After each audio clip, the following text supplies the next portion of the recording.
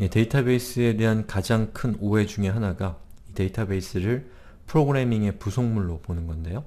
사실 데이터베이스는 그것 자체로 완결성이 있는 프로그래밍이기 때문에 여러분이 편리한 이 데이터베이스 클라이언트만 가지고 있으면 스스로 필요한 정보를 정의하고 그 정의에 따라서 데이터를 입력하고 조회하고 수정할 수가 있습니다. 이를테면 PHP MyAdmin과 같은 솔루션을 이용하면 여러분이 웹을 통해서 데이터베이스에 접속할 수 있기 때문에 다른 사람과 함께 관리해야 되는 데이터가 있다면 각각의 사용자들에게 적당한 권한을 부여하고 예, 각자가 필요한 항의를 하면 되는 거죠. 예, 그렇게 데이터를 운영하면서 이 데이터에 대한 통찰력 같은 것이 생기면 그것을 좀 더 일반적인 목적으로 끌어올릴 수가 있을 겁니다. 그때 자연스럽게 이 프로그래밍이라는 것이 필요하게 될 거고 예, 이렇게 시작한 프로그램이 전더 자연스럽고 그 목적도 분명할 거라고 생각이 됩니다.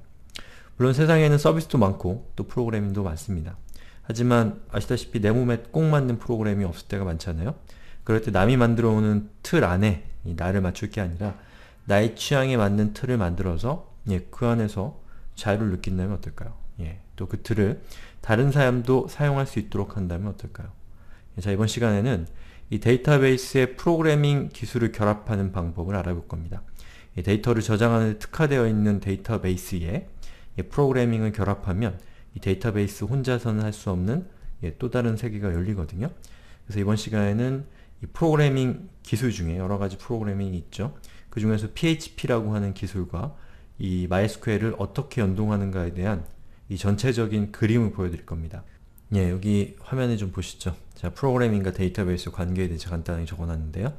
일단 기본적으로 프로그래밍과 데이터베이스는 무관합니다.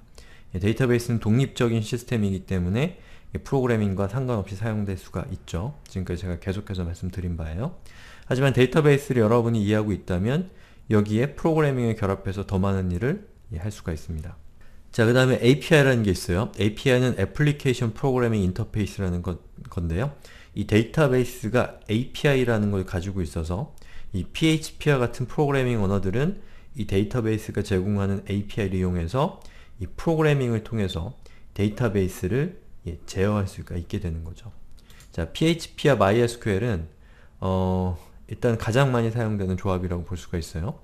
PHP는 MySQL이라는 데이터베이스로 가장 많이 쓰고 또 MySQL은 PHP가 PHP라고 하는 프로그래밍과 가장 많이 결합이 된다는 거죠. 아무래도 이 MySQL이 웹의 등장과 함께 아주 주목받는 데이터베이스 시스템이었고 또 PHP는 사실 웹에 특화되어 있는 이 프로그래밍 언어기 때문에 뭐 이런 결과가 오는 것은 어쩌, 어, 어떻게 보면 당연한 결과겠죠. 하지만 PHP는 MySQL뿐만 아니라 오라클, 뭐 MS SQL, 뭐 기타 등등의 다양한 데이터베이스 시스템과 연동될 수 있고 MySQL도 마찬가지로 PHP뿐만 아니라 이 파이썬이나 또는 자바나 기타 등등의 이 다양한 프로그래밍 언어들이랑 이 결합될 수가 있다는 거죠. 그래서 PHP와 MySQL은 두 개가 자주 다니는 관습적으로 자주 사용되는 그런 관계이긴 하지만 두 개가 불가결한 관계라고 볼 수는 없는 거죠. 자 그럼 지금부터 실습을 해볼 건데요. 여러분들 이거 실습하시면서 음, 여러가지 환경의 문제 때문에 어, 막히는 부분이 생길 수가 있어요. 그런 경우에는 너무 실습에 집착하지 마시고 일단은 실습을 잠시 놓으시고 제가 하는 여러 그 설명을 들으시는 게 더 중요합니다. 왜냐하면 큰 그림을 보여드리는 거고 중요한 건 흐름이지 이거를 어떤 결과물을 만들어내는 게 아니거든요. 그 흐름을 파악하는 거에 방점을 두시고 따라오실 때 안되면 예, 그냥 설명만 들으시면 됩니다. 자 우선 여기 데이터베이스를 제가 준비해 놨어요. 데이터들을. 그래서 student라고 하는 이 테이블을 만들었고 그 student 테이블 안에 들어갈 데이터들을 준비했습니다. 그래서 여기 제가 입력한 데이터를 웹을 통해서 이 테이블의 형태로 음, 표의 형태로 출력하는 어, 그 방법을 설명드릴 겁니다. 자 우선 여기 있는 내용을 카피해서 여러분의 그 데이터베이스 시스템에다가 서버에다가 입력하세요. 자 복사하고 자 저는 자 mysql-u 자, 저 데이터베이스에 접속을 했습니다. 그리고 방금 저거를 붙여넣기라고 엔터를 친 다음에 자, select from 그리고 student 라고 하고 student죠. 해서 하면 이런 데이터가 있죠. 이 데이터를 외부로 예, 출력하는 것을 해볼 겁니다. 자, 그 다음은 자, 웹페이지 만들기인데요. 자, 여기에 있는 요 웹페이지와 이 PHP 코드가 섞여 있는 요 문서를 여러분의 그 웹서버의 document root라고 하는 곳에 위치시키면 돼요. 자, 그러면 해볼게요. 자, 우선 MySQL에서 빠져나가고요. 그 다음에 cd, cd, var, 따따따 밑에 들어간 다음에 ls-a라면 파일 리스트가 나오거든요. 자, 여기 있는 요 주소, 요 그 위치는 path라고 하는데요. 요거는 항상 같지 않습니다. 여러분이 만약에 이 생활 코딩에서 설명드리는 리눅스 수업을 들으셨다면 아마 저랑 똑같을 거고요. 아니면 여러분이 각자 가지고 있는 리눅스 시스템에 쓰신다면 다른 디렉토리에 이 document root라고 하는 것이 위치하고 있을 수도 있습니다.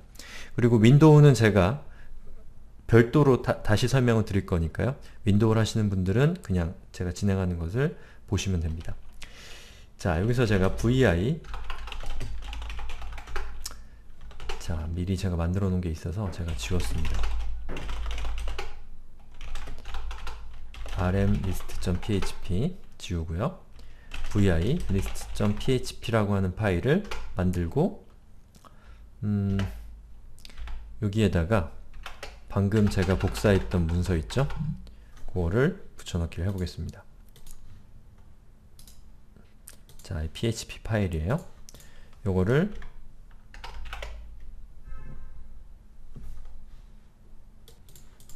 붙여넣기가 잘 안돼서 자, 이렇게 붙여넣기를 했어요.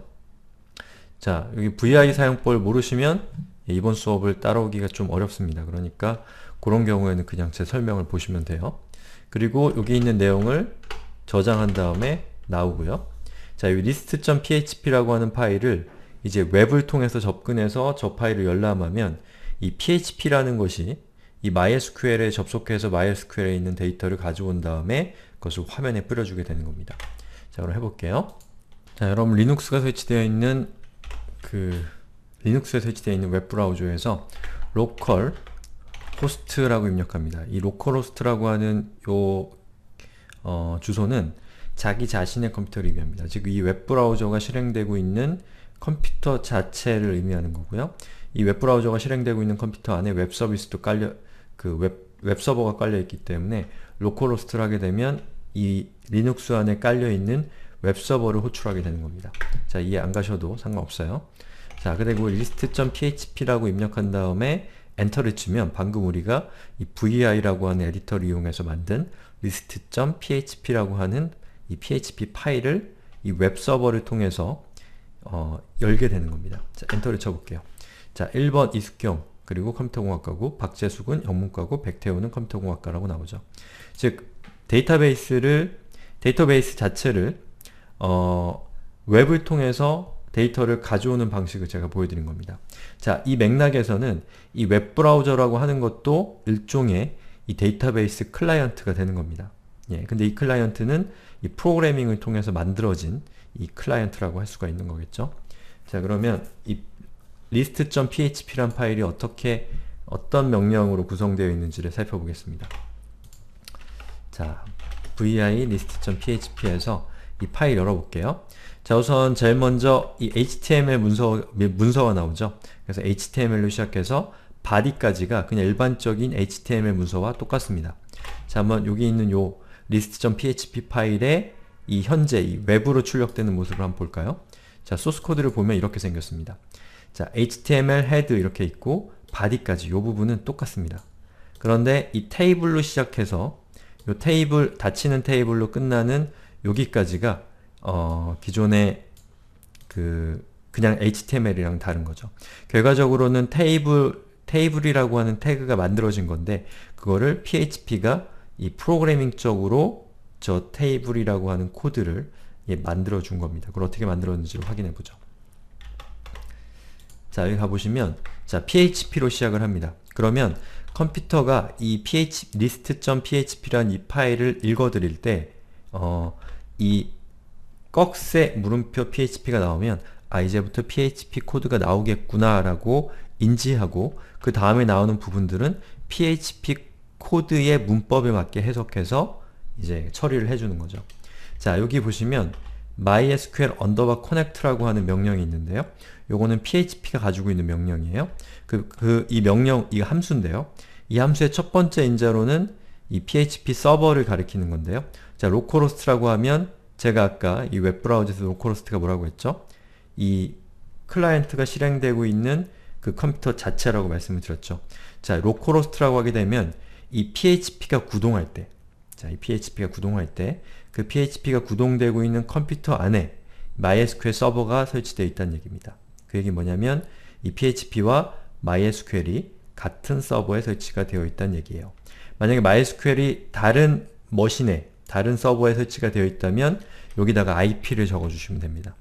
자, 그 다음에 루트 요 부분은 이 id가 나오는 거예요. 그래서 루트라고 하는 id는 1, 2, 3, 4라고 하는 비밀번호를 가지고 있다라고 해서 이렇게 입력을 해주게 되면 mysql underbar connect라고 하는 이 명령을 통해서 데이터베이스 서버에 php가 접속을 하게 되는 겁니다. 예. 자, 여기 있는 비밀번호 1, 2, 3, 4 요거는 여러분이 사용하고 있는 비밀번호에 따라서 달라질 수 있으니까 실습하실 때는 여기 있는 1, 2, 3, 4를 본인의 환경에 맞게 변경해 주셔야 됩니다. 1, 2, 3, 4 같이 엉터리 비밀번호를 쓰시는 일은 없겠죠? 자, 그 다음에 이 부분은 뭐 그렇게 중요한 부분이 아니니까 넘어가고요. 만약에 뭐 간단하게 설명드리면 이 MySQL underbar connect가 성공되면 여기 있는 connect가 어, false가 아닌 다른 값을 갖게 됩니다. 그래서 if문 조건문을 통해서 만약에 이 조건문에 들어오는 이 부분이 이 false라고 하는 값을 가지고 있다면 unable to connect to db라고 하는 메시지를 출력하면서 이 php를 종료시키게 되는 겁니다. 에러에 대한 처리인 거죠. 자, mysql underbar select underbar db라고 하는 거 뒤에다가 인자로 클래스를 전달했어요. 이건 뭐랑 같냐면 자, 자 우리 mysql 할 때 배웠죠? use하고 클래스라고 해서 이 context를 변경시키는 명령 기억나시죠? 바로 저것과 동일한 명령입니다. 자 이렇게 해서 이제 클래스라고 하는 데이터베이스를 가리키게 한 거고요. 그리고 SQL문 있죠? select, from, student, limit 10 그럼 student라는 테이블에 있는 데이터 전체를 가져온 데이터 중에서 10개의 데이터만 가져온다라는 명령이죠.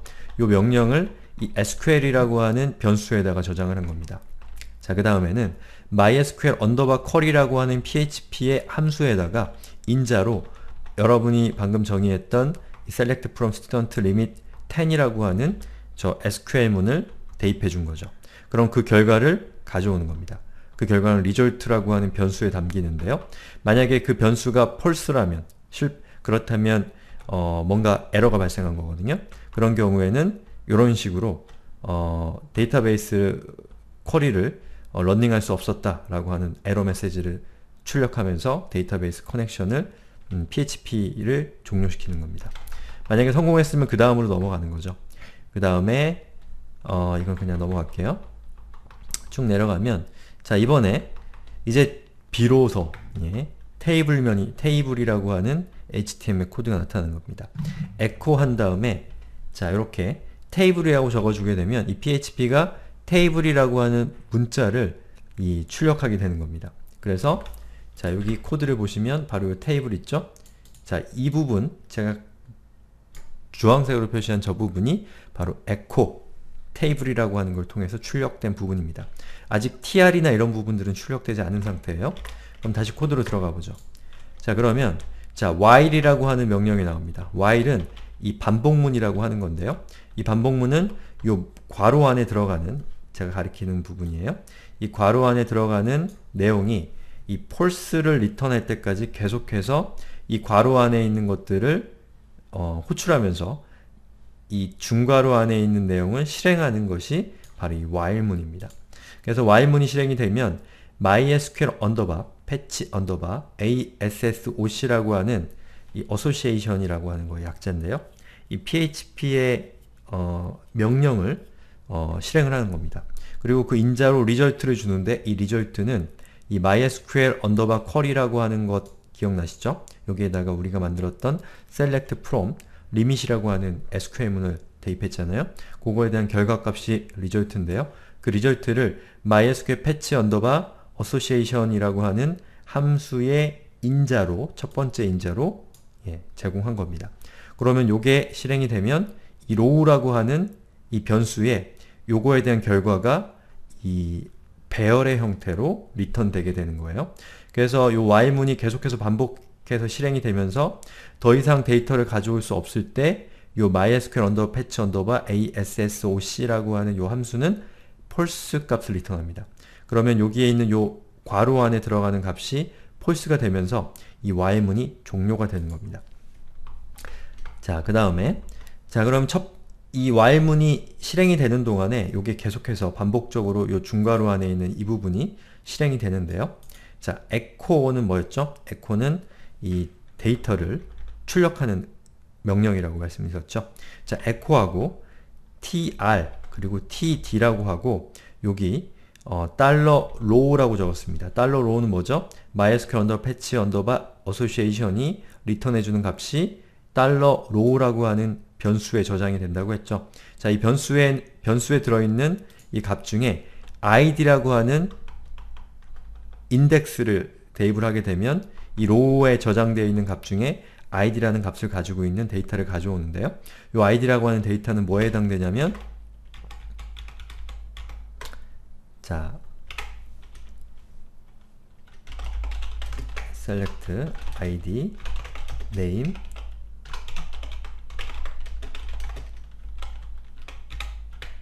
자 이렇게 하면 이 id 있죠? 이 id에 해당되는 값을 가져오겠다는 뜻입니다.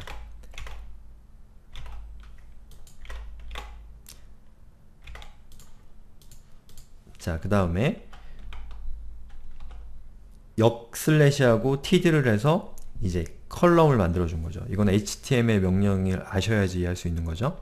자, 그 다음에 td를 해서 새로운 column을 열고요. 그 다음에는 row에다가 name이라고 하는 인, 그 원소를 인덱스를 넣어줘서 그 이름에 해당되는 값을 가져오는 거죠. 그리고 이 column을 닫고요. column을 다시 열고 row에 이번에는 department라고 하는 예, 인덱스를 제공을 해서 예, 다시 테이블을 닫는 겁니다. 그 다음에 tr을 해주기 때문에 이제 한 행이 만들어진 거죠. 그래서 이게 더 이상 데이터를 가져올 수 없을 때까지 계속해서 반복되기 때문에 tr이 여러 번 호출이 되는 겁니다. 그 다음에 에코문이 나와서 테이블을 닫아줘서 이 테이블명을 구성을 한 거고요. 밑에 있는 건 설명 안 드릴게요. 자 그렇게 해서 만들어진 게 바로 이겁니다. 그리고 이거는 사실은 이렇게 생긴 요 HTML 코드를 만들어 주는 거죠. PHP는. 그럼 이 HTML 코드를 어, 웹브라우저가 읽으면 이렇게 사람이 이해하기 쉬운 좀 더 시각적인 이 기호들로 이렇게 만들어 주는 거죠. 이런 식으로 이 PHP와 MySQL이 상호작용하면서 이 MySQL에 있는 데이터를 여러분들이 프로그래밍적으로 가져올 수가 있는 겁니다. 이번 수업은 예, 상당히 많은 지식들이 암시되어 있어요. 이를테면 HTML, CSS, PHP, MySQL 뭐 이런 것들이 있거든요. 그렇기 때문에 MySQL만을 공부하신 분이라면 어, 이번 시간이 이해되지 않는 건 당연합니다. 예, 낙담하지 마시고 일단 데이터베이스라는 분야에 집중하면서 예, 나중에 천천히 프로그래밍을 공부하면 됩니다. 예, 그렇게 전체적인 경험을 차츰차츰 향상시켜 나가면 예, 점점 기술적인 자유도가 높아지겠죠? 그럼 나중에는 기술을 예, 수적처럼 부릴 수가 있게 될 겁니다. 이번 시간은 여기까지 하고요. 다음 동영상에서는 윈도우에서 실습하는 법을 알려드리겠습니다. 예, 리눅스를 사용하시는 분들은 예, 보지 않으셔도 됩니다. 고생하셨습니다.